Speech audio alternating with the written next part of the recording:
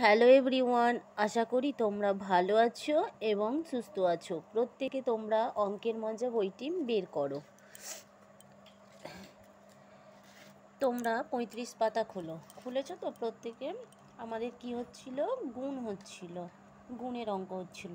গুণের একের দাগ দুয়ের দাগ, তিনের দাগ, চারের দাগের উঙা পর্যন্ত হয়েছে। তোমরা প্রথমে চারের দাগের চ থেকে ইঙা পর্যন্ত কেটে দেবে।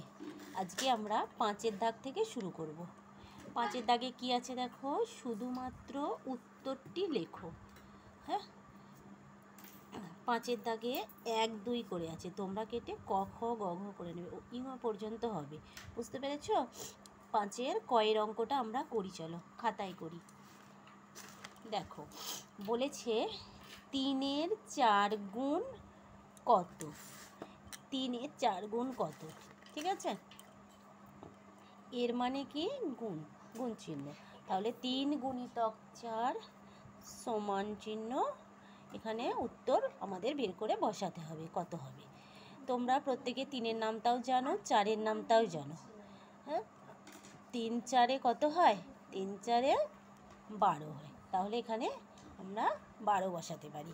বুঝতে পেরেছ অঙ্কটা? এবার আমরা দেখো চয়ের অঙ্কটা করি, চলো। বলেছে একটি পেন্সিলের দাম পাঁচ টাকা, দশটি পেন্সিলের দাম কত? খাতায় করি, চলো। একটি পেন্সিলের দাম পাঁচ টাকা, তাহলে দশটি পেন্সিলের দাম কত হবে? পাঁচ গুণিতক দশ টাকা। হ্যাঁ তোমরা পাঁচের নামটাও জানো, দশের নামটাও জানো।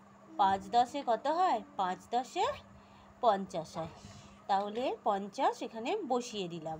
বুঝতে পেরেছ? এইভাবে অঙ্কগুলি করতে হবে।